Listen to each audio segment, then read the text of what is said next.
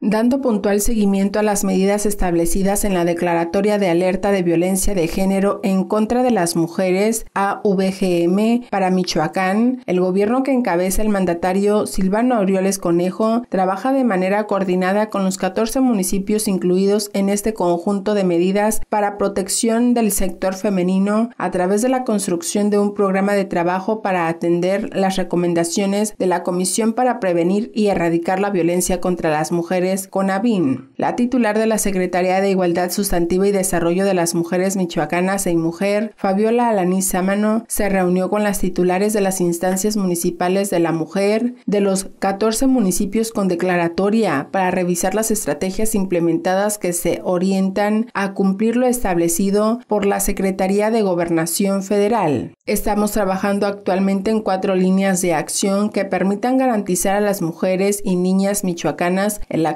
a una vida libre de violencia y que son la seguridad, prevención, justicia y reparación del daño y empoderamiento económico. Por su parte, la directora del Instituto Municipal de la Mujer de Hidalgo, Idalí Acuña Áviles, mencionó que en el caso de su municipio la violencia contra la mujer comenzó a visualizarse una vez que se declaró la alerta de violencia de género en Michoacán, ya que las mujeres conocieron los mecanismos de protección y de atención a los que pueden acceder cuando están siendo víctimas de violencia. Mientras que Griselda Álvarez del municipio de Uruapan reconoció el trabajo que está haciendo el gobierno del estado en el tema de prevención, por lo que ahora hay más denuncias de las mujeres cuando están siendo violentadas.